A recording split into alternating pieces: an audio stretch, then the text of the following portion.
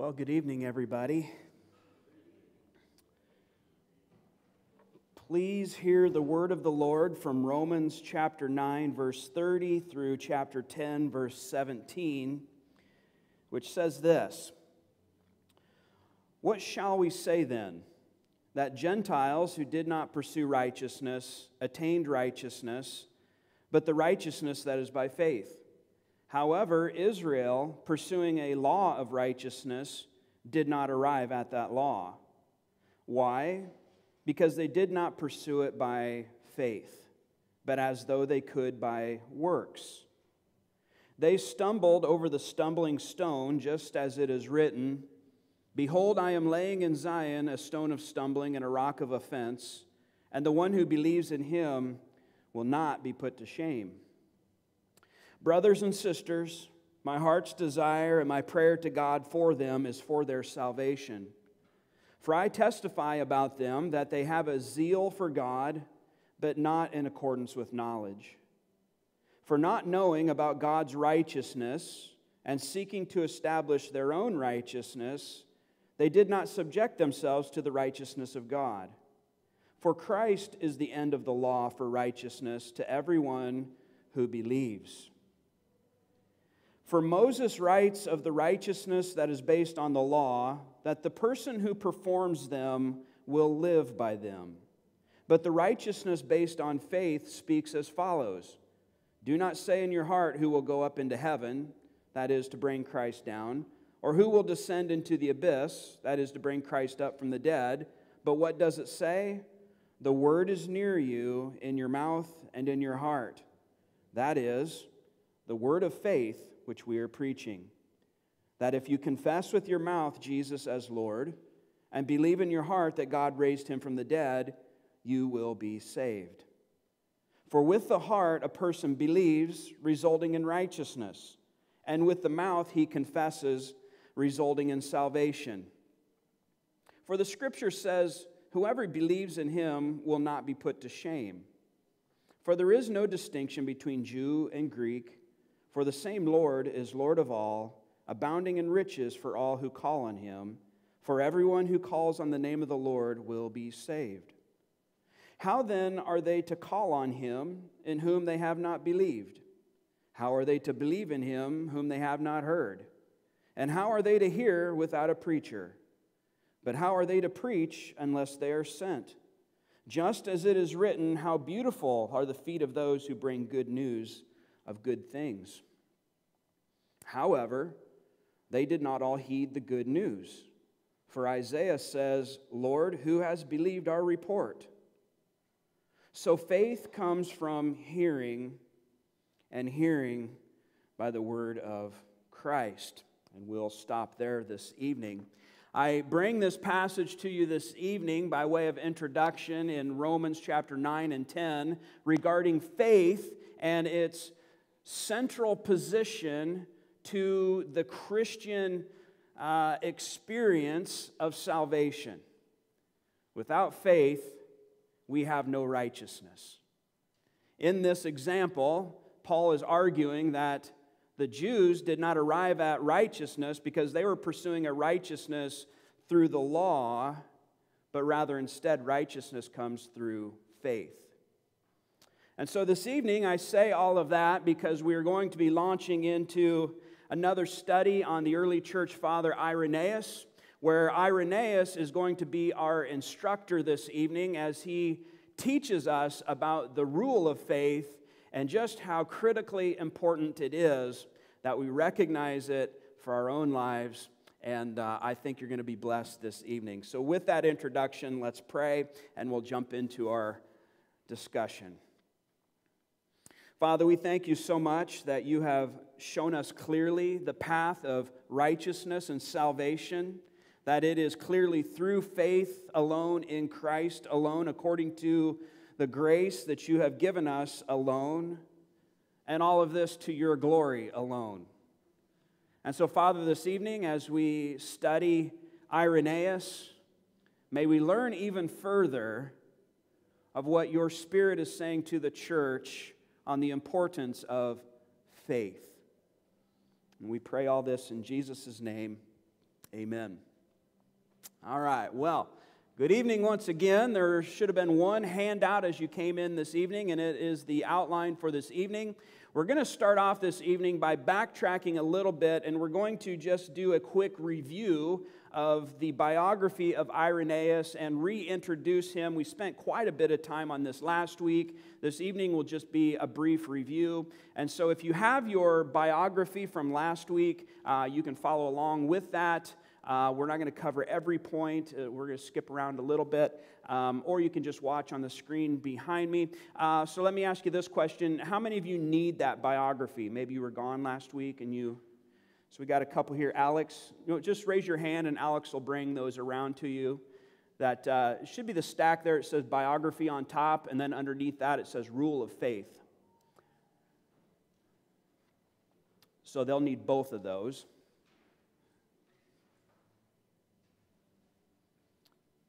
Anybody else need that from last week? Okay, I think we're good, Alex. Thank you very much. Okay, so let's talk about Irenaeus and uh, his life a little bit, as well as an introduction into um, the significance of his life in the church and what it means to us today. So, Irenaeus. Um, as with most of these early church fathers, when we're talking about dates of birth and death, they're, you know, it's, it's kind of open ended because we don't know exact dates, exact times. So we're kind of speculating a little bit. But Irenaeus was most likely born in the mid 140s AD, probably in or around Smyrna. So, you know, this is roughly yeah, 110 years after Christ. And the region of Smyrna is modern day Turkey. Uh, you may also remember Smyrna as being important because that was where Polycarp was the bishop, he was the pastor there. So if we look at it on a map, to get our bearings, we have Jerusalem down here in the right hand corner, Bethlehem, Nazareth. Up here we have uh, Antioch, that most important com- uh, Christian community of Antioch. This is where Ignatius was a pastor for a season. Uh, then we have over here, uh, this is modern day Turkey. We have Ephesus, and right above Ephesus, we have Smyrna. So that kind of maybe gives you a sense of where we're talking there. Also, with Irenaeus, I'm losing my signal. Loading, loading.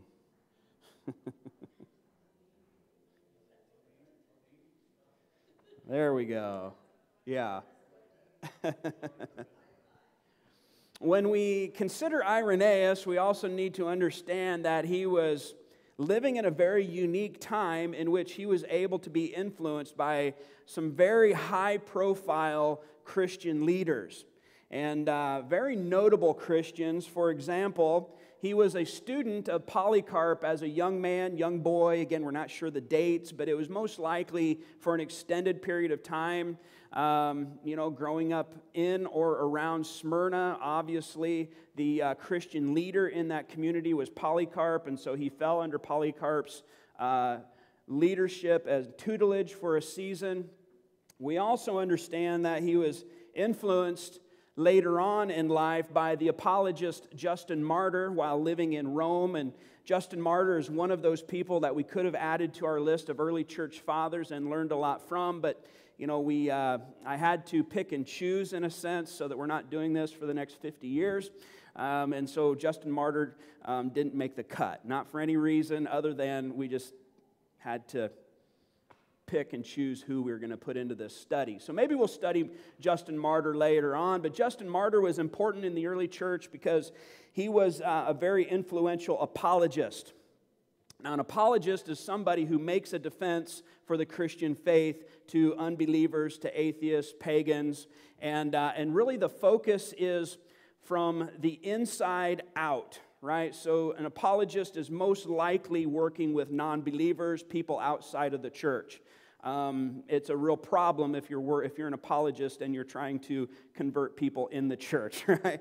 I mean, you're trying to defend the faith to Christians, uh, something has gone terribly wrong, right? So, but Justin Martyr, and there's a whole group of apologists that were very influential, very important in the early church. Justin Martyr is probably the most famous of those. And uh, he was in Rome, and uh, so evidently there was a time when Irenaeus uh, left Smyrna and went to Rome, and when he was in Rome, he fell under the, the teaching of Justin Martyr. And as Justin Martyr's name uh, presents itself, he was martyred for his faith. Martyr is not his last name, it just describes uh, the way that he was executed for his faith. Also, um, as we consider Irenaeus, we need to consider him to be a sub apostolic, third generation disciple of Jesus Christ. Right? So here's what I mean by that. If we follow a flow chart, we would see that Jesus Christ came, lived, died, resurrected, and ascended to the Father. In that time, he taught the disciples. The disciples are what we also know as the apostles, with maybe a capital A. And uh, so, for example, we have the Apostle John. So, Jesus Christ taught the Apostle John, John the Beloved. John the Beloved, we know, taught and discipled Polycarp. And we know that Polycarp discipled Irenaeus. And so there's a succession here of apostolic teaching and, and, uh, and witness to Scripture and to Christ. But also, we see here that we can see that Irenaeus is like a third generation disciple. Right? So I don't know if we were to consider, I don't know how, how we would accurately do the math on this, but if we considered ourselves what generation of Christian disciple we are after the apostles, I mean, it'd probably you know, it'd be in the thousands of thousands. I don't know how many thousands, but, you know, um, anyway. So does, does that make sense, right? So Irenaeus is a third generation disciple. We're probably a 5,000th generation disciple, okay? Just to throw a number out there. Irenaeus, during the 160s AD, moved to Lyon in southern Gaul. So this is uh, modern day France. So we've find his life beginning in Smyrna, modern day Turkey. He, uh, at some point in his life, maybe early 20s, he moves to Rome. From Rome, he goes up to uh, modern day France in the town of Lyon, and then the, the town just south of there, Vienne. And this is where he ministered for the rest of his days. If we see it on a map, so we would see Smyrna would be over here in what is called Asia back then. And at some point in his life, he travels to Roma. You got to roll your R's. And then uh, at some point in time, he moves across the Alps into uh, modern day France. And probably in this region right in here is where Lyon and Vienne were. Okay? Also, with Irenaeus, in Lyon, Irenaeus was a Greek speaking Christian in a Latin colony of the Roman Empire, surrounded by Celtic barbarians. That's what the Gauls were considered. They were considered Celts, and they were considered barbarians because their language was like the bar, bar, bar, barbarians, right? That's, you know, that's kind of, it's kind of a derogatory term, that whole barbarian thing, but that's you know, they don't speak our language, and so we make fun of what we don't understand. And anyway, surrounded by Celtic barbarians on the fringes of Roman civilization. And so this is a picture of Irenaeus' ministry. He's, he is not at home, right? He is out of his element, so to speak. He is a Greek speaking Christian in a Latin colony on the fringes of, of the Roman Empire and Roman civilization, and he is surrounded by Celtic barbarians and pagans. But there was a thriving Christian community here. So all of that kind of keep together there as you consider his experience. Around 174 AD, he was sent by his church to deliver a letter to the church in Rome out of an increasing concern for heresy. Right? There's, there's uh, rumors of some strange teaching that is going on in the church in Rome. And, uh, and so the church in Lyon puts together a letter and they pick Irenaeus to deliver the letter. Irenaeus was probably not the pastor at this time. He was probably an elder in the church, but he was not the pastor, he was not the bishop. And so they sent him uh, sometime around 174 to deliver this letter. And an interesting thing, when he arrives in Rome, he makes two very shocking discoveries. The first of which is that the bishop of Rome, Eleutherus, had embraced a heresy by the name of Montanism. Montanism comes from its founder of Montanus, and this was essentially a heresy that centered around a false teaching of the Holy Spirit. It was considered a new prophecy. It was considered a, um, a new supernatural way of experiencing God apart from Scripture. And so the emphasis was on subjective experience of the Spirit with no scriptural support. And uh, a lot can be said about this. Um, it was considered a heresy by the church, and uh, that was his first discovery. The bishop there had embraced this. Second of all, a man by the name of Florinus, who was a friend and also a fellow student of Polycarp, had embraced the heresy of Gnosticism. Now, we're going to talk a lot about Gnosticism in a couple of weeks. It's a very, very complex uh, heresy. We'll just leave it at that for now. Um, it's basically centered around this whole concept of secret knowledge. Uh, the Greek word for knowledge is gnosis, which is where we get the word Gnostic from. And um, it was essentially that, um, yeah, there's, there's a biblical truth, but Jesus also gave a secret truth to just certain disciples, and not everybody is able to, um, to, to apprehend that knowledge. And so you have to be part of this secret society of sorts in order to gain this special knowledge, and it, and it really distorts the idea of creation that we see in Genesis, distorts the idea of Jesus being the Messiah, distorts all kinds of things. It's just, it's, um, I said this last week, I'll say it again because it's probably the best way to explain it. It is probably the greatest work of science fiction that mankind has ever made, okay? And it's very, very complex, and, and we could spend a long time uh, talking about it, but we'll probably spend one class for sure talking about it. And so, so he gets to Rome and he finds out, okay, well, the, the bishop of the church has fallen into heresy, and my best friend, who also served under Polycarp, has fallen under heresy. And no doubt these two things were very influential in his later work in confronting heretics and heresy. Okay?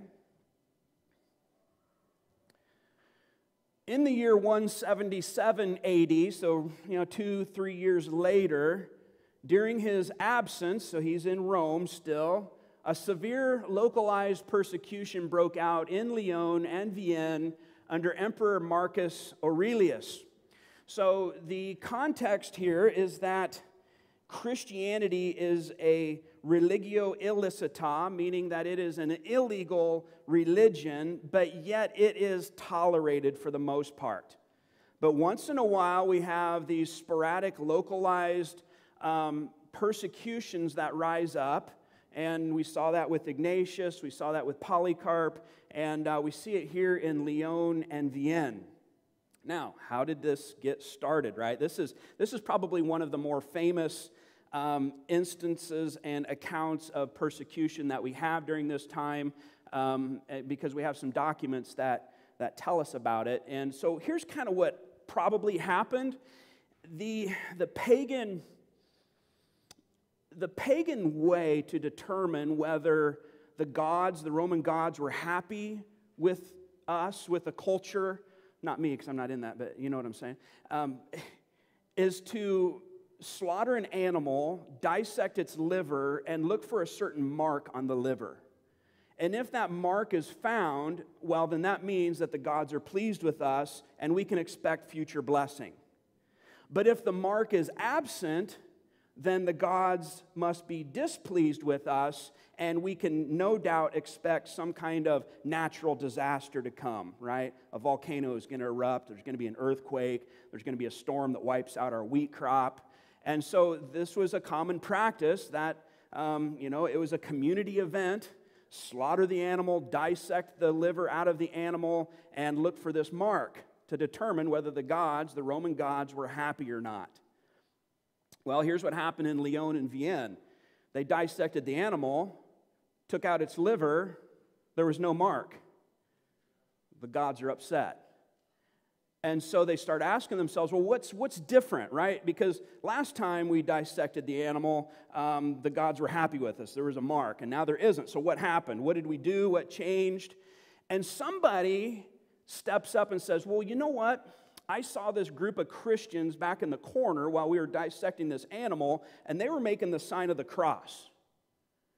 So, side note, right? The sign of the cross that the Catholics make, that predates Roman Catholicism. That was something that was normal in the early church. We make fun of it because, well, it's usually associated with Roman Catholicism, right? But, but that was a normal thing that the church did back in that day. But anyway, so in this situation, somebody says, Well, I saw this, these Christians and they were, they were worshiping their God while we were trying to get an answer from our gods. And so, therefore, it must mean that our gods are mad at us because we're tolerating the Christians.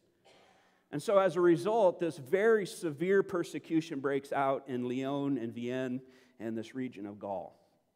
So, interesting um, how these things happen, but as I mentioned, this was, this was okay because Christianity was an illegal religion until, you know, and it was kind of, it was really kind of overlooked probably for the most part until something like this happened, right? A natural disaster that pointed to the displeasure of the gods. And so we need to answer to that. And, you know, the scapegoat are the Christians. So let's kill the Christians so that the gods can be happy with us again, is basically. And so this is what we see here in the year 177 AD. A very severe, localized persecution broke out. So Irenaeus, returning to Lyon, he discovers that his bishop, Bishop Pothinus, has been martyred, and he is now appointed the new bishop. Right? So, in the persecution, um, one of the Christians who are martyred is the bishop, the pastor, and uh, Irenaeus arrives in Lyon, and uh, they tell him the bad news of you know the, the death of his pastor, and then they say, "Oh, and by the way, you're our new pastor." And uh, I'm not sure how that would make me feel knowing that there is severe persecution that's just always kind of threatening, you know, and who are they going to come after first, right? They're going to come after the leader of the Christians. And so, so anyway, he is appointed the new bishop. Then, during the years of 189 to 198 AD, Irenaeus lives up to his name. Uh, Irenaeus in Greek means peacemaker, and he lives up to his name in the Paschal controversy. I talked quite a bit about this last week. The Paschal controversy was just simply the date, uh, debate over the date of when is Easter. What day was Jesus crucified on? Uh, the Roman church said it's on this date, and we follow this way of determining it. And really, the rest of the church said, well, no, it's this way. And uh, we know that because this is what the apostles have taught us. And, uh, and so there was this debate. It kind of went back and forth. During Polycarp's time, it was kind of a secondary issue where, you know what, we'll just agree to disagree and it's not that big of a deal.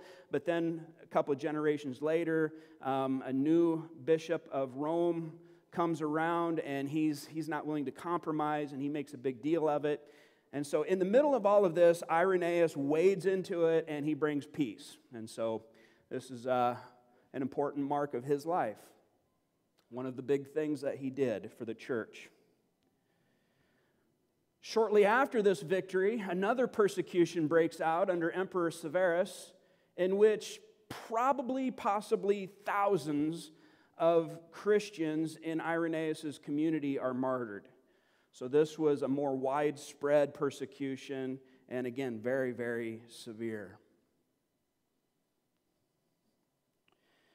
Irenaeus died somewhere around 202 AD, though probably not as a martyr.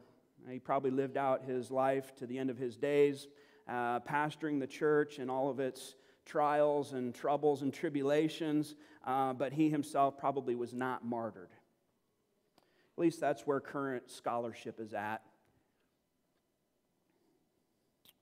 So, any thoughts about his biography so far? Any questions? Anything? Okay, so if we just kind of take Irenaeus' life and just as a, as a whole, generally speaking, what were some of his contributions. We'll just, we looked at this last week, but just, I think it's probably important to look at these again. So, just briefly. Uh, first of all, Irenaeus is considered the most important theologian of the second century, period. So he is a contemporary of Tertullian, which we're going to study next. But Irenaeus is considered the most important theologian, even more so than Tertullian. And we're going to see a mark of that and a reason why that is this evening as we study out the rule of faith. Also, as we consider his importance, his significance, uh, his theological perspectives and teaching, uh, we understand that Irenaeus represents a movement from an apologetic focus, which was outside the church, right, from the inside out, like Justin Martyr, to a theological focus within the church. And as a result, the church is strengthened because of his ministry and is still being strengthened today because of his ministry. It's really pretty incredible. And I think we'll see that this evening too as we get into our lesson further. Secondly, he is an important theological uh, figure because he brought biblical clarity where there was speculative confusion through the witness of the apostles. Right? So here we have the bishop in the Church of Rome who has adopted Montanism and uh, doesn't believe that he needs the Word of God because he has the Holy Spirit and that's enough. And uh, there's all this speculation, there's all this confusion that comes out of it. And so Irenaeus wades in once again with the foundation of the apostolic teaching handed down from John to Polycarp to Irenaeus, and he clarifies things. And this is what his ministry does, and that's what his ministry still does for us today. He's not teaching anything new that Scripture doesn't teach, but he is drawing it out into light so that we can see it clearly. So he is bringing biblical clarity where there was often speculation and confusion. Thirdly, he provides an effective model for approaching heresy used by later Christians. And this is just, um, I have such high respect for Irenaeus because of his approach against heresies, against heretics and heresies, right? Um, Martin Luther is very important to me. And when he goes against the Roman Catholics, he goes against the Anabaptists, um, sometimes in my flesh, I find it kind of comical because he's, he's pretty rough with them and he's pretty shrewd and pretty sly. And uh, he says some things that just make me smile. I probably shouldn't, but you know what I mean? And he's just, he's kind of, he's just kind of on the attack, right? Irenaeus takes a different approach. First of all, he outlines what the Gnostics believe, and he goes into great depth of detail.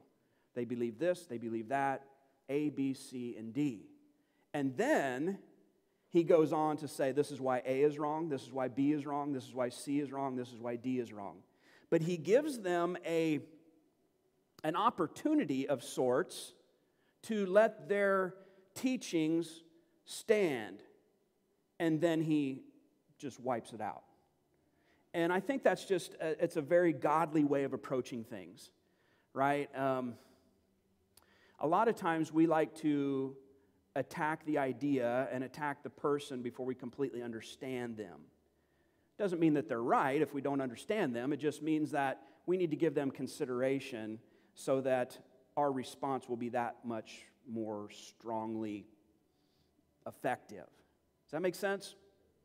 We're going to see that especially when we talk um, in his book against heresies, against, uh, against the Gnostics, and because he, he just does a, a superb, uh, godly, noble um, way of doing this, where he, he just approaches it um, with the way I think Jesus would. You know, uh, well, you believe this, and this is why it's wrong, right? Instead of just saying you're wrong. Does that make sense? Anyway, we'll talk more about that later, probably. Fourthly, Irenaeus is an important theological figure because uh, he has the perspective that all of redemptive history concludes with Jesus Christ, right? All of the Old Testament is pointing forward to Christ. All of the New Testament is pointing back to Christ. Jesus is the central figure of redemptive history. He is the reason for everything. Everything culminates in Christ, and Irenaeus just brings that out time and time and time again. And uh, just absolutely love that. Fifthly, I suppose we could say this is that he presents a theology which is very approachable. Irenaeus is easy to read. Um, his stuff is just straightforward. Um, if, if you have any kind of uh, biblical reading under your belt, Irenaeus is going to make easy sense for you. Um, so we use the big word of theologian, and oftentimes that scares us, maybe intimidates us. But Irenaeus was a theologian of top rank, and he is very approachable. He's very easy. Um, not so much as maybe with Augustine, although Augustine has his points where he's very approachable too, very easy to understand.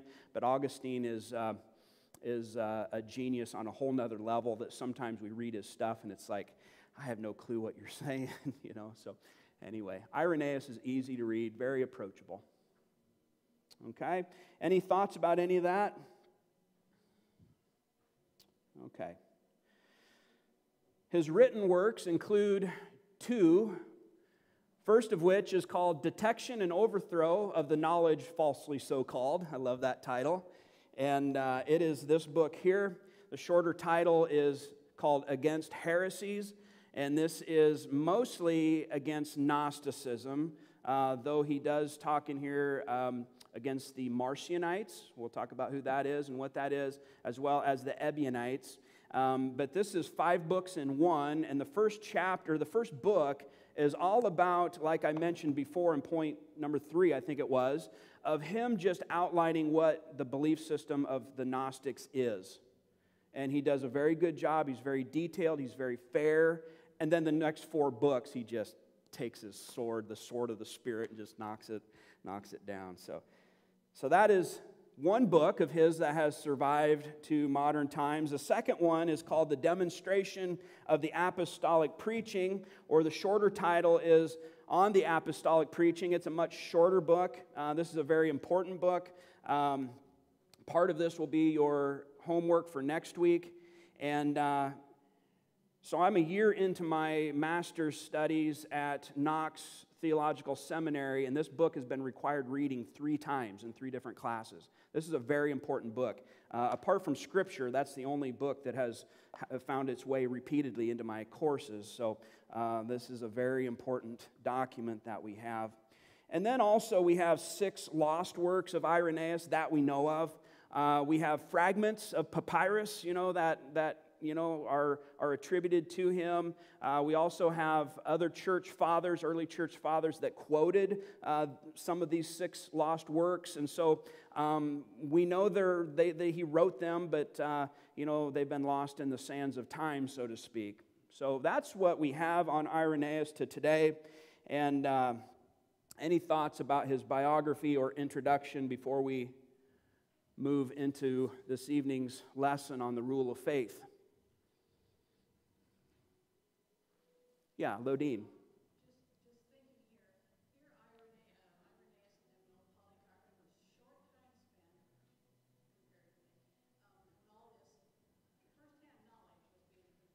Yeah. Yeah. Yeah.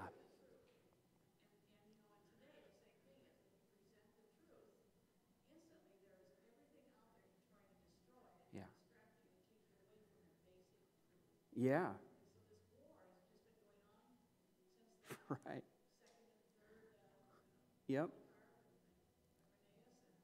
Yeah.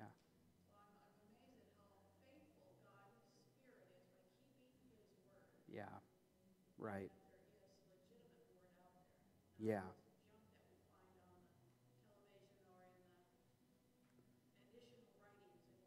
Sure. Yep. Yep. And I think specifically we see that presented in two forms. One that we've already studied extensively is that of martyrdom, and now we're kind of drawing out another way that the world, the devil, has tried to destroy Christianity is through false teaching. And so, you know, that's kind of the direction we're going now with Irenaeus. But that's very observant um, that uh, where there's the truth, there is opposition. And I don't know if that encourages me or discourages me, knowing that for 2,000 years the church has been wrestling with this um, and has been fighting this battle. I, on the one hand, it encourages me because, hey, we're still here.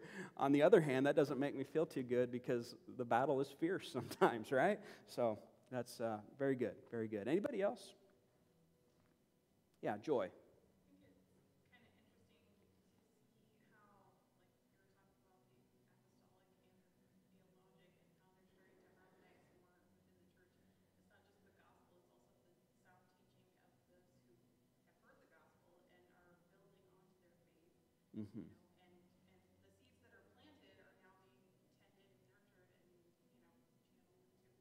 Yeah. Yeah, yeah. We're going to see um, more of what you're talking about, and, and hopefully, I am able to stress it properly this whole concept of apostolic succession, right? Where did we get our knowledge of Jesus Christ from?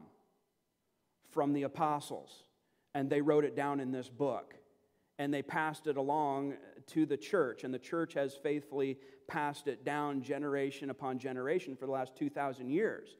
And so we're standing on the shoulders of those who went before us, and the teaching that we hold to is the same teaching that was given to the apostles through Christ, and uh, hopefully that will be conveyed through that, because through this lesson of Irenaeus, because um, that is so important that we understand that we didn't we're not pulling this out of the air somewhere that jesus christ is the son of god born of a virgin and lived a sinless life and died under pontius pilate and was put into a grave and then three days later rose from the rose from the dead. Uh, we're not pulling that out of the air. That is apostolic teaching. The apostles taught that to the church and the church has faithfully generation after generation passed that on and we have that same responsibility to the next generation, right? So hopefully I'm able to convey that. Hopefully you'll see that in Irenaeus. So let's keep moving here. Those are great observations, but for sake of time, let's keep moving here. Um, I want to make just five general observations as we move to the rule of faith. So, this was a document I gave you last week. Um, the rule of faith comes from the first chapter of this book, Against Heresies. And then on the back side of that document, there is uh, something titled like Keeping to the Rule of Faith, and that comes from this book. Okay, so what you have there are just snippets of both accounts that um, Irenaeus and many early church fathers referred to as the rule of faith. Right? What is faith in Jesus Christ? If we're going to make a summary of it, well, it's this, and we're going to call it the rule of faith. So Irenaeus talks a lot about this rule of faith. That's what he's referring to. We also find other early church fathers use that same terminology. And so as we consider the rule of faith, which you have in your hands, hopefully, if you don't, raise your hand and Alex will get you one. Um, but there's five general observations that we want to make about this. And uh, first of all, is that Irenaeus' theological account of faith and truth was groundbreaking in his time. Now, that doesn't mean that what he is saying about faith is something new. What, what he is saying is what he sees in Scripture. But what was groundbreaking about it is that in Irenaeus' uh, presentation of it, it is a very full expression of it, and it was really probably the first time the church really wrote it down, other than what was written in Scripture right? So, on the apostolic preaching is a fuller testimony of the rule of faith, and it is the earliest, fullest summary of the Christian faith outside of Scripture that we possess today. And that's huge.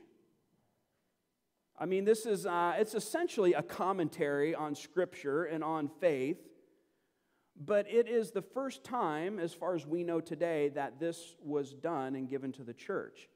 Here's a summary of what faith in Christ is and why it is. So that's, that's big. This was probably groundbreaking.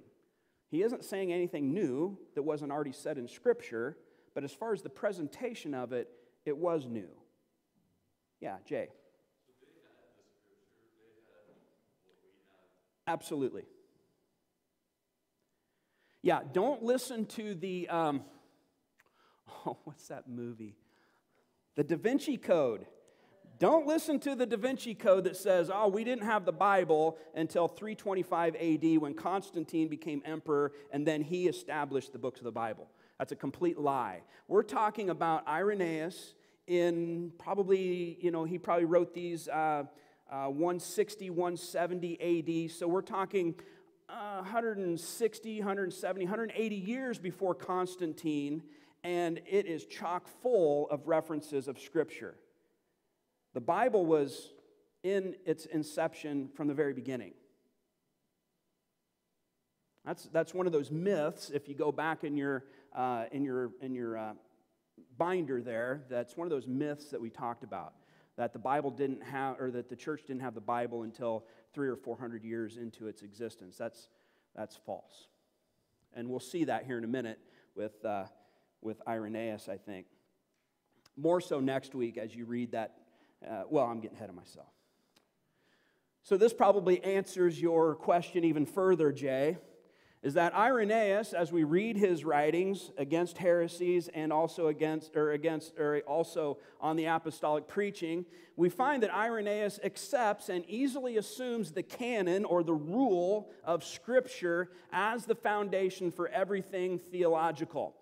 And so, what I mean by that is in part one of On the Apostolic Preaching, there are almost 200 scripture quotes in 17 pages of writing.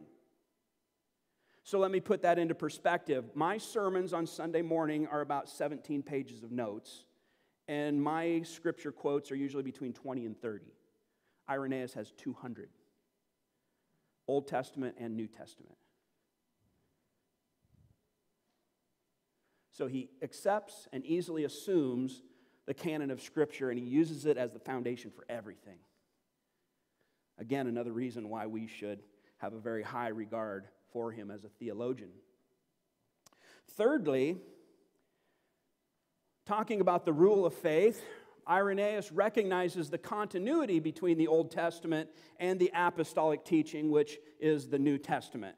Um, so there was a. Um, Another heresy, we'll, we'll probably talk about it, um, Marcionism, that really wanted to get rid of the Old Testament, right? They, they saw the Old Testament and the New Testament as having two gods, right? There's the God of the Old Testament who's this angry, judgmental, wrathful, wants to, you know, cause genocide of all these pagan societies. And then there's the New Testament God who's just full of grace and love and joy and peace, and his name's Jesus, and we really like him. And, and so Marcionism wanted to get rid of the Old Testament. And, uh, but here we find Irenaeus, and that was a, was a big movement, right? It was a big issue in the early church. Um, but here's Irenaeus who comes along and, and he strongly stands firm and says, No, there is continuity between the Old Testament and what the apostles taught us in the New Testament. And in fact, it all harmonizes and culminates in Christ. The Old Testament pointed forward to Christ, the New Testament points back to Christ. And so there's great continuity that Irenaeus stood for. And, uh, and we would say the same thing today, right? I mean, are we okay with that? That uh, the Old Testament and the New Testament uh, harmonize, there's, there's a continuity. So good, right on. Because believe it or not, this is still around today. Um,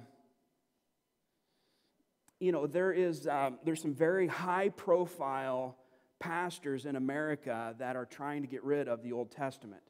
And maybe they won't go so far as to say that there's two gods, but they will say that God is not like the God of the Old Testament any longer. Right? You don't need to fear him. You don't need to keep his commandments. Right? That God is, you know, that was a different dispensation of time. And anyway, I could say a lot about that, but, but this, that Irenaeus is, uh, points us the way forward, okay? Let's leave it at that. Along with that, Irenaeus publicly acknowledges the authority of the apostolic witness, the New Testament, as equal to the authority of the Old Testament prophets, right? So here's, here's, the, uh, here's the distinction, right? So the inspiration of Scripture, Old Testament came through the prophets, New Testament came through the apostles right? And so Irenaeus recognizes that both have equal authority. The Old Testament prophets that wrote the scriptures, the New Testament apostles that wrote the scriptures, they have equal authority. And again, this is something that is challenged today, right? So, uh, anyway, I, am going to get way off track if I keep going down these rabbit trails. But Irenaeus stands firm and points the way forward in acknowledging publicly, unashamedly, that yes, the Old Testament prophets and the New Testament apostles are equal in authority according to the authority that God has given them. So, you know, so therefore we don't look at, here I go down the rabbit trail. Uh, we don't look at the writings of Moses as being more important than the writings of Peter. There's teaching like that around that says, well, Moses is first, and then, you know, then maybe we would move into um, Isaiah and Jeremiah that have a greater authority than, or not as much authority as Moses, but more authority than maybe the minor prophets. And, and, then, uh, and then maybe we would bring in some of the New Testament stuff. You know, maybe Paul would put in there, maybe Matthew. And they see this um, succession of authority, right? And oftentimes it begins with Moses right? And it's often influenced by Judaism or false Judaism. And, uh, but what Irenaeus shows us from Scripture is that the Old Testament, the New Testament are on equal footing. Okay? Fifthly, generally speaking, about the rule of faith, Irenaeus is motivated to articulate the rule of faith because of heretical views which threaten orthodoxy, which is right doctrine, and orthopraxy, which is right practice. Right? So, why did he? I mean, imagine, imagine, right? This is before the time of typewriters and computers. This is, uh, it's like 800 pages. Imagine handwriting a document like this and how long that would take. I don't know how long it took him to write it, but uh, that would be, that'd be rough, right? And so, why do something like that that would take so much time, so much effort, so much energy? Well, it's because of the threat of heresy in the church. Gnostics claim to be Christian, the Montanists claim to be Christian. And so, in order to sift out all the speculation and confusion, he writes this. So, the threat that he saw was a threat to orthodoxy. And remember, you might go back to uh, those nine myths that we talked about in the very early stages of his study. And one of those was um, um, um, orthodoxy is a bad word, right? Is that a myth or is that true? And we claim that it's a myth. Orthodoxy is not a bad word, it is a good word. Orthodox just simply means right doctrine, right truth right theology, we could even say. And we understand that when there is right doctrine, it will lead into right practice. So orthodoxy leads into orthopraxy. And so Irenaeus saw that as being threatened, and so he sat down to write an 800, 800 page book by hand, amongst other things. Okay, so, generally speaking, that's what we're looking at when we're entering into this document called the Rule of Faith. Are there any questions? Okay, let's keep moving then. And we're just going to read it this evening and then make some observations like we've done in the past with different things. And uh, I've, I've split this into two sections. So if you have your document before you, uh, under the rule of faith, there's two paragraphs. Uh, and I've split those into section one and section two. First paragraph is section one, second paragraph is section two. And so let's just read it. The church, though dispersed throughout the whole world, even to the ends of the earth, has received from the apostles and their disciples this faith. She, the church, believes in one God, the Father Almighty, maker of heaven and earth and the sea and all things that are in them and in one Christ Jesus, the Son of God, who became incarnate for our salvation, and in the Holy Spirit, who proclaimed through the prophets the dispensations or the times or seasons of God and the advents or the comings, right, which would be a, uh, um, you know, a nod to the advents of Christ and the birth from a virgin, and the passion, and the resurrection from the dead, and the ascension into heaven in the flesh of the beloved Christ Jesus our Lord, and his future manifestation from heaven in the glory of the Father to gather all things in one. So, a scripture quote there. And to raise up anew all flesh of the whole human race, in order that to Christ Jesus, our Lord and God and Savior and King, according to the will of the invisible Father, again, another scripture quote, every knee should bow of things in heaven and things in earth and things under the earth, and that every tongue should confess to him, and that he should execute just judgment towards all.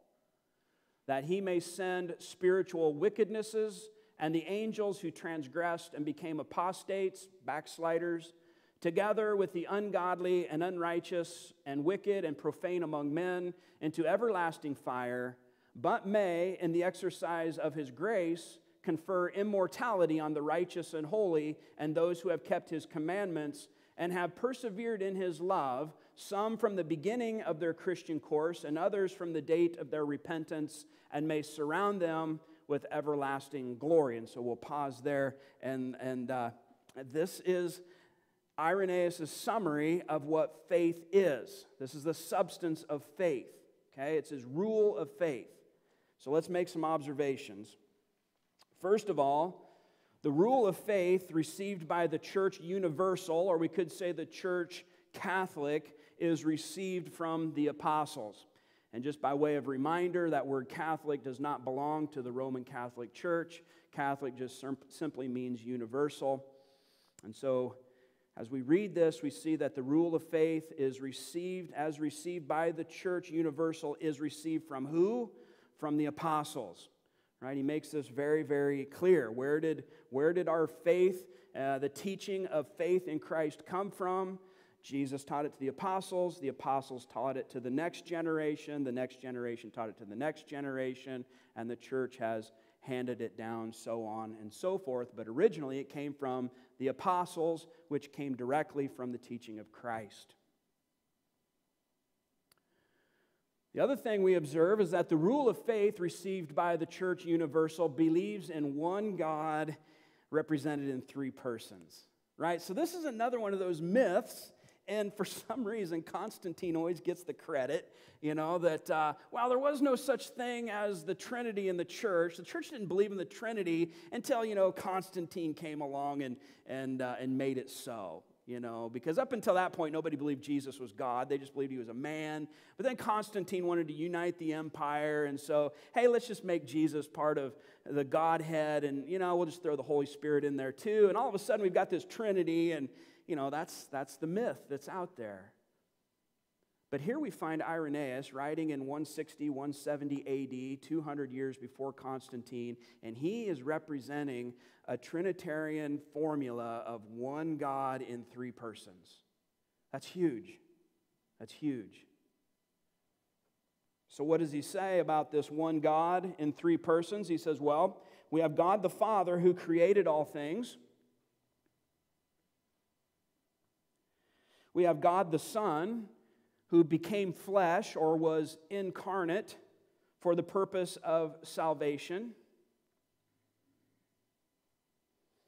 And we have God the Holy Spirit, who proclaimed all, all times, or the word he uses is dispensations, and advents through the prophets.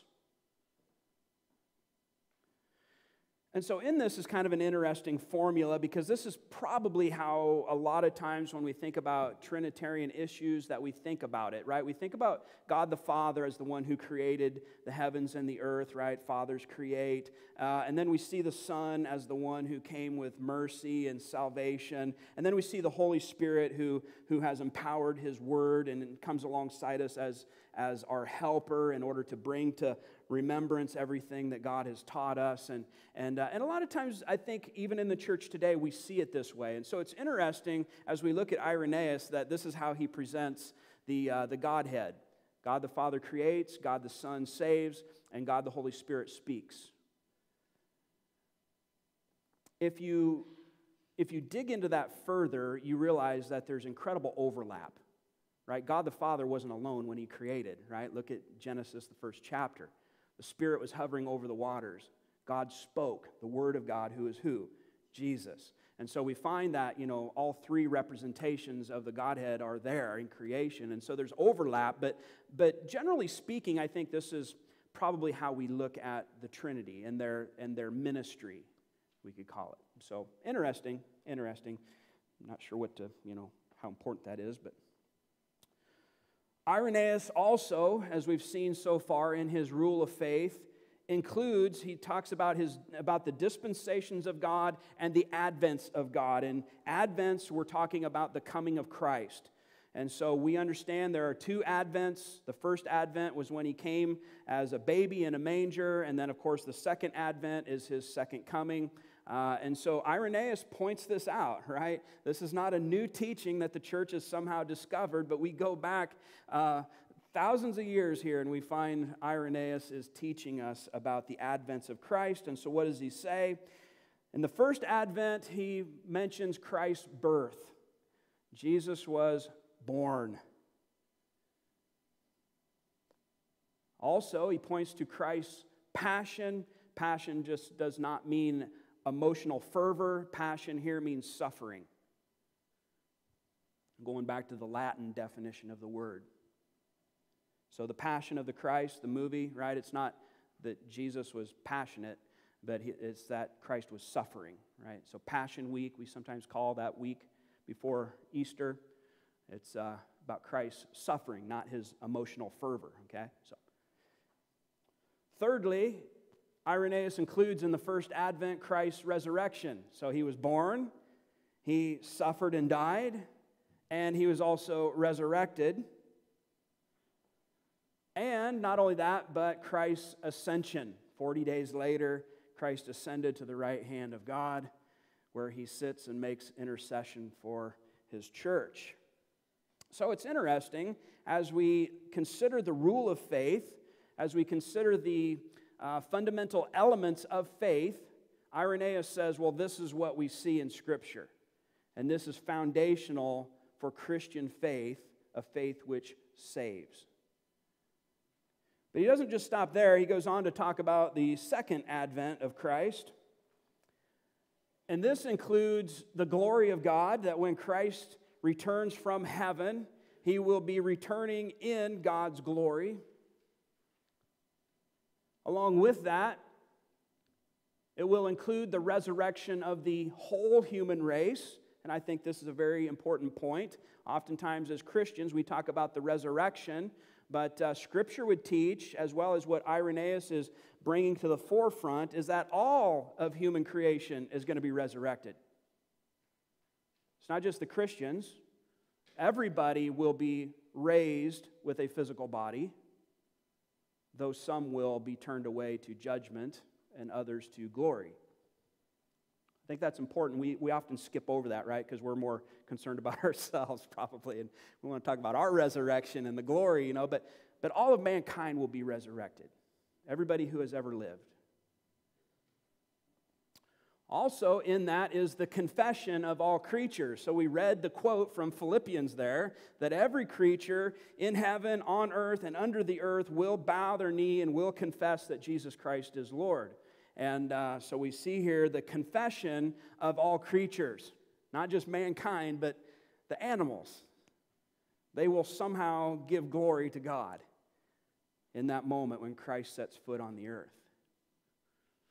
Interesting.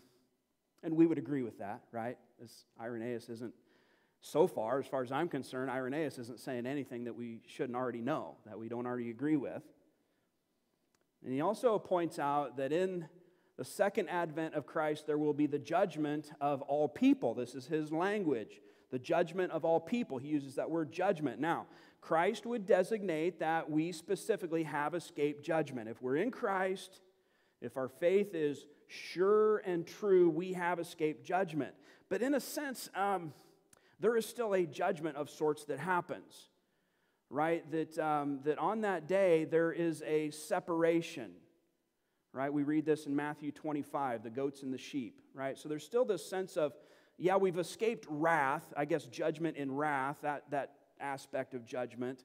Um, but yet there's still a judgment that is made whereby we are uh, set apart, where we're, um, well, here's what he says First of all, there's a judgment of justice, whereby wicked apostates, right, those who have backslide, those who have turned away from God and from the knowledge of God, Romans 1 would be a good example. Wicked apostates, including fallen angels, which we call demons, will be punished in everlasting fire. So, so he talks about the judgment of all flesh, and that falls into two categories. The first of which is a judgment of justice, right? Um, those who have sinned against a holy God will receive justice, and that justice is eternal fire.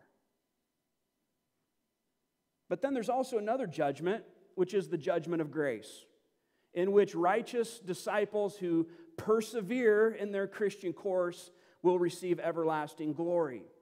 And so he talks about this in the same sense of, of judgment, of, you know, and maybe that's, you know, there, maybe there's a better word to use than that because we have a preconceived idea of what judgment is. It's usually a very negative. But as I mentioned, read Matthew 25 tonight and you'll, you'll understand this that there's a separation. And that separation um, uh, culminates in two categories of people right? Um, those who will receive God's justice, which is his wrath against sin, and those who will receive grace. And that grace is given to those who persevere.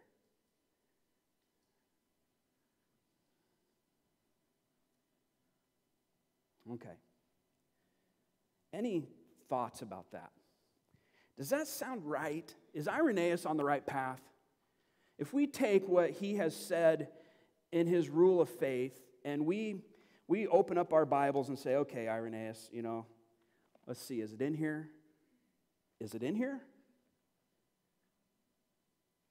I mean, this is pretty important. He's teaching us about what saving faith is, what the, what the core elements of what we need to believe in order to be saved. He's teaching us what those are.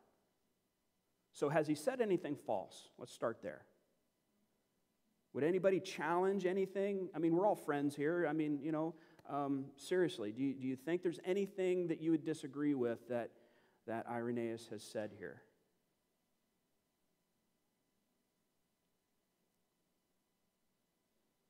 No, I don't think so either. This is fundamental orthodoxy right here at its finest.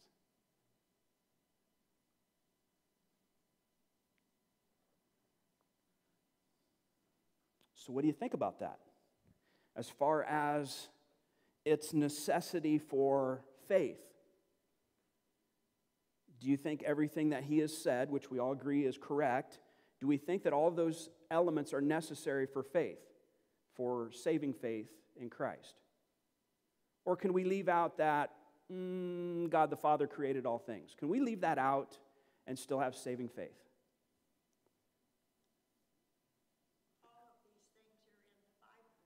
Yeah, they are, aren't they?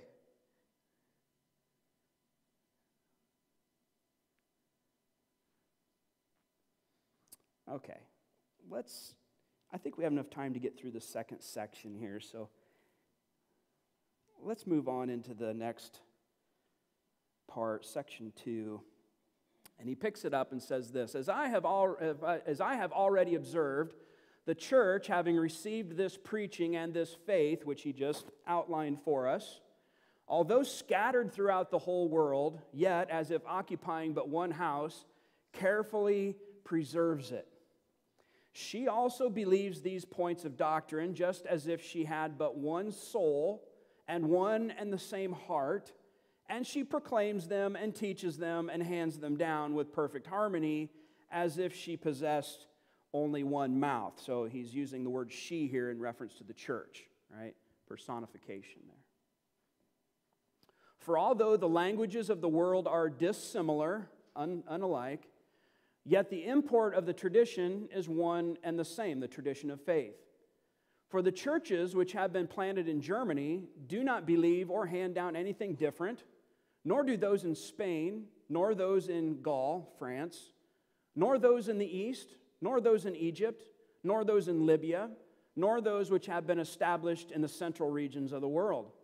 But as the sun, that creature or creation of God, is one and the same throughout the whole world, so also the preaching of the truth shines everywhere and enlightens all men that are willing to come to a knowledge of the truth.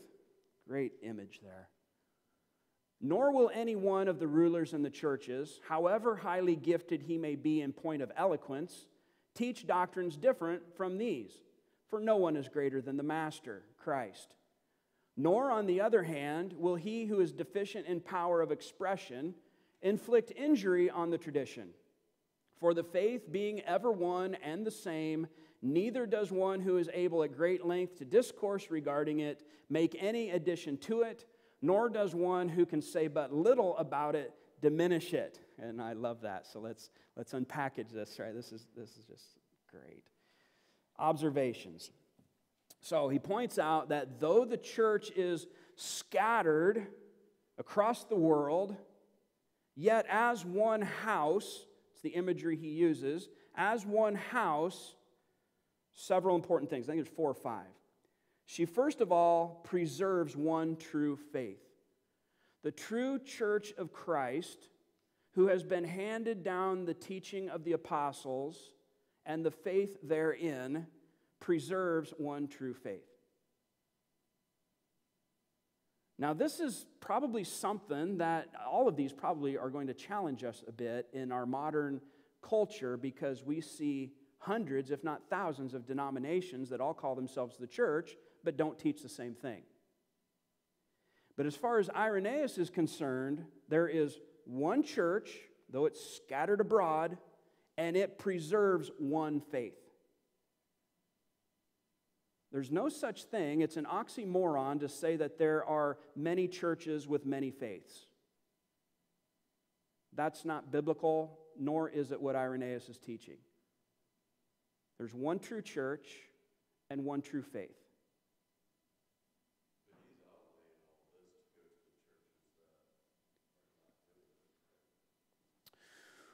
Right. Part of this is in response to the Gnostics who are saying, yeah, we're Christians. Um, we believe that, uh, you know, that Jesus, um, you know, it, it, it's so goofy. Jesus came from this, this mass of sinful matter that another God emitted because of their fallenness, and we'll get into it. I'm telling you, it's science fiction, dude. And, and so, therefore, their, their understanding is that Jesus was created and he is the byproduct of sin. But yeah, we're still Christians like you guys are. And so Irenaeus steps in and says, No, there's one faith, and the one true church preserves it perfectly. And not only that, it has come down to us from the apostles. This is how we know. Jesus taught them, they taught us. It's preserved in this book. Okay? Let's, let's keep going. You're going to love the Gnostics. I mean, it's just, it's great stuff. Though the church is scattered as one house, yet she believes one true faith. Right? You, you hear this once in a while amongst Christians, right? Well, they believe in, they, they have this belief in their denomination, and they have that belief in their denomination. And I was uh, at a store in Ames Monday, and the checkout lady, um, we just got to talking, and, and I said, Yeah, I'm a pastor. And she says, Oh, oh, what, what faith? What do you believe? Do you believe in Mary? I'm like, Well, I believe in Jesus. Does that qualify? You know? But it's this whole idea that, well, this denomination believes this or emphasizes this, and this denomination emphasizes this in their faith. And, but Irenaeus is saying, no, there, there is one true faith, and he's just outlined the tenets of it for us, right? God the Father, God the Son, God the Spirit, Advents, first Advent, second Advent. This is what's going to happen in each one. This is what has happened. And, uh, and these are the essential elements. Yes. Yeah, right, right. This is why we're studying the early church fathers. it brings a lot of this back into back into right perspective. Okay, so let's keep going. Thirdly, though the church is scattered abroad, as one house, she proclaims one true faith. Right? Well, I visited that church and the pastor was preaching about this, which I don't know, it doesn't seem to be in the Bible, but hey, that's what they proclaim.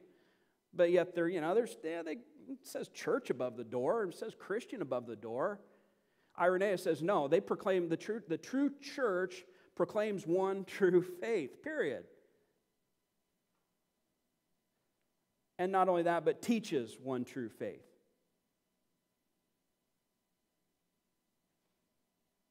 And fifthly, hands down one true faith.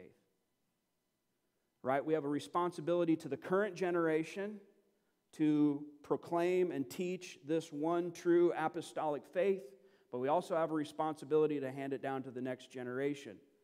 And we're not passing down five different forms of faith. Irenaeus says there's one true faith that we're passing down. At least one true faith that will save, right?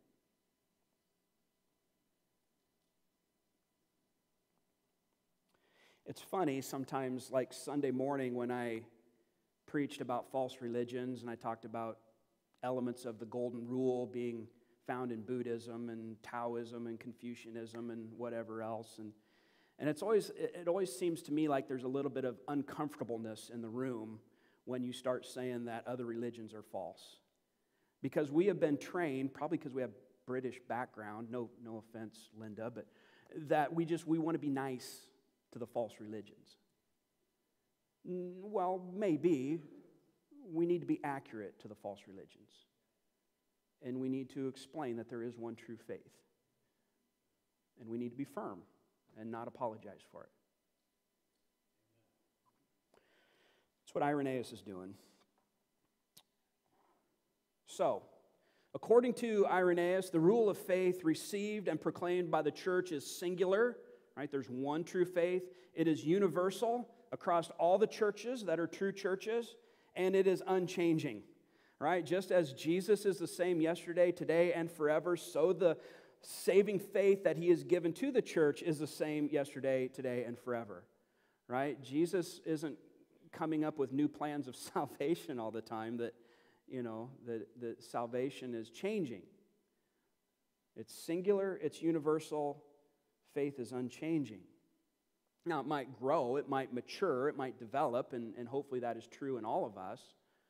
But essentially, at its core, it is unchanging, the tenets of it.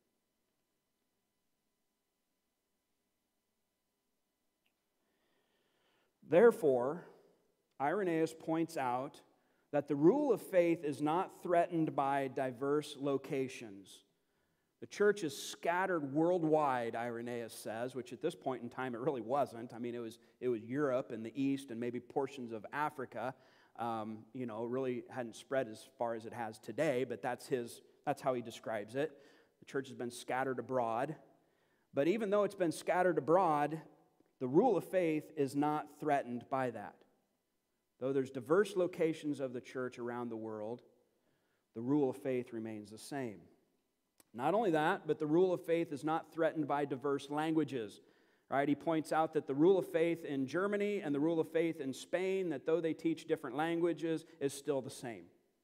Their languages are distinct and different, radically so in some ways, but the rule of faith is the same. And that's just a great wonder. You know, I don't know if you've ever been on a mission trip before, but I remember going to Guatemala and uh, going to a couple of church services that were in these little tin shacks, you know, and it was just, I, I don't speak Spanish, I don't understand Spanish, but man, you could, you could sense their passion and their love for their Savior, you know, and it was just, it was overwhelming, that experience, you know, that it's, they're worshiping the same God.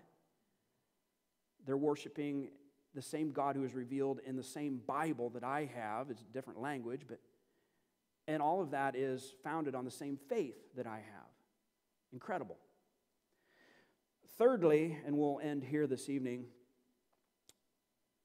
the rule of faith is not threatened by diverse gifting, and I think this is important too. Here's what Irenaeus says at the very end of, uh, of this portion of discourse. And he says, uh, let's see, nor will any one of the rulers or, you know, the, uh, the elders in the churches however highly gifted he may, he may be in point of eloquence, right? So you have a very gifted speaker, right? They're very eloquent and they're very, they're very highly gifted. But he says, no, no one of these rulers who are highly gifted will teach doctrines different from anybody else. Or on the other hand, will he who is deficient in power of expression, right? They're just you know, they're not as eloquent. They don't, they don't speak as, as clearly or as powerfully as maybe somebody else who has a higher gifting.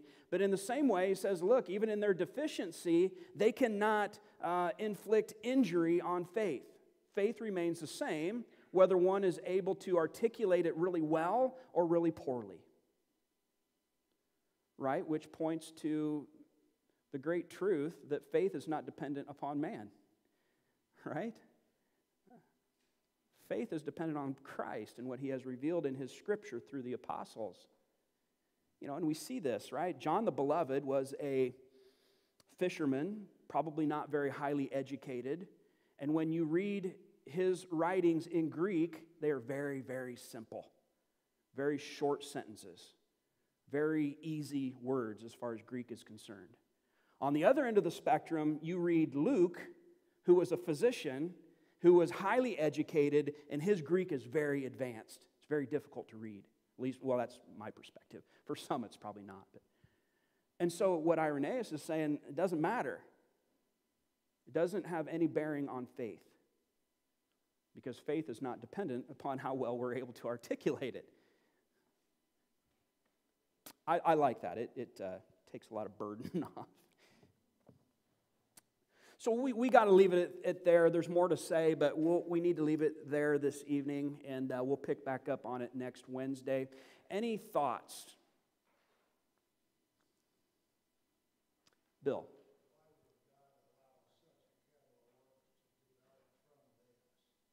What do you mean? Oh. Right. Yeah, yeah. So, Scripture says that, um, oh, where is it? It must have been Paul to one of the churches where he talks about, you know, there's, there's been rumors of false teaching among you, and to the Corinthians, I think. And he says, You know, uh, for the most part, I believe it just because of the nature of your contentious, rebellious soul, right? But then Paul takes it a step further and he says, And God has allowed it to prove you. And so it's the same thing that Jesus taught in his parable, um, you know, where the farmer sowed seed and then he went to bed and woke up in the morning, there's all kinds of tares in his field and the servants come along and say, uh, Master, didn't you sow good seed in the field? How come we have all these tares growing here? And, uh, and, and the farmer's kind of confused about the whole thing. And, and so the servants say, Well, do you want us to go out and pluck up all the tares? Right? Let's just get rid of them, right? They're taking up resources from the wheat. And what does the master say? He says, No, let them grow up together. And in the day of judgment, the angels of God will come and separate the two. So, part of this is God's own providential wisdom, and I don't have an answer for you. But part of it, I think, what we see in Scripture is that God has allowed it to prove the true church. And praise God, He's given us Irenaeus to help lead us through the way. Not because Irenaeus is anything, but because Irenaeus points us back to Scripture. Okay, let me be clear. Let's pray. There's a lot I've given you tonight, so. Father, in all of this, God, we thank you so much for your apostolic witness that we have in the New Testament, your prophetic witness that we have in the Old Testament, both of which come together to culminate in your Son, Jesus Christ. God, we thank you for that. God, we also thank you that you have given to the church servants such as Irenaeus, who are great theologians, who are able to, um, by the gifting of the Holy Spirit, draw out these truths so that we can see them clearly. And so, Father, I pray that what we've seen this evening from Irenaeus is that um, our faith would be encouraged, that our strength would be solidified, that though we look around the world and we, we it seems as if we see such a diverse teaching within the church that just does not harmonize with each other. God, I thank you for the voice of Irenaeus that draws us back to center, explaining to us that there is one true faith. And it's in this faith we stand in Christ alone And we praise you for it in Jesus' name. Amen. God bless you. We will uh, see you next Wednesday. Uh, my family and I are leaving tomorrow to go out of town for a couple of days, and we won't be back till Sunday night. So uh, pray for us. And, and uh, like I said, if you need anything, you can always contact the board members, and uh, we'll see you again next week. So God bless.